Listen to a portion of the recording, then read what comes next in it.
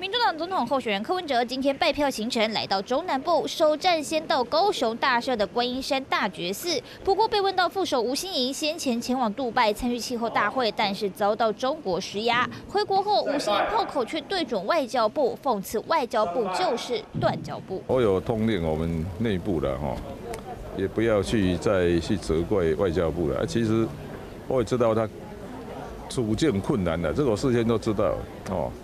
第一个，对方的打压一定存在，哦啊啊啊！我们的外交部也不也也也遇到很多压力。可以听到柯文哲是帮忙缓夹，不过在蓝白分手后，柯文哲连日炮打蓝绿，民调却还是垫底，是否担心会被气爆？台湾有大概六十五 percent 民意希望政党轮替，可是我们都忘记一件事情，台湾大概有七十 percent 的哦不希望国民党上台。